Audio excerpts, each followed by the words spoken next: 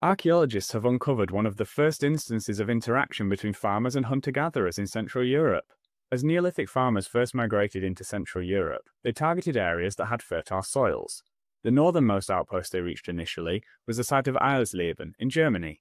It's one of the most extensively researched archaeological sites in Germany, with over 10,000 square meters excavated, but we're still learning new things about the people who lived there.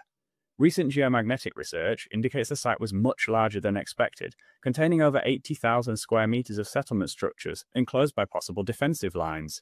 These extensive fortifications make the site unique in comparison to its contemporaries, supporting evidence for increased conflict and territorialization in early Neolithic Central Europe. Perhaps most interesting, however, are the finds recently uncovered at the site. Despite Eilsleben clearly being an agricultural site with Neolithic tools, fitting in with the wider linear pottery culture of the early Neolithic, a rich assemblage of seemingly Mesolithic artifacts has now been uncovered. Antler tools, such as axes, and an antler mask similar to that of the iconic Bad Dürrenberg shaman indicate contact with local Mesolithic foragers. Antler flakes show that artifacts were produced on site, indicating clear interaction and technology transfer between hunter gatherers and farmers.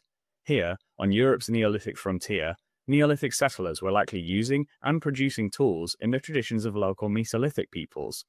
In the borderland between early Neolithic and late Mesolithic worlds, there seems to have been much more interaction and technological exchange than previously observed. Read the original research in Antiquity Free and drop us a follow if you're interested in more of the latest archaeological research from around the world.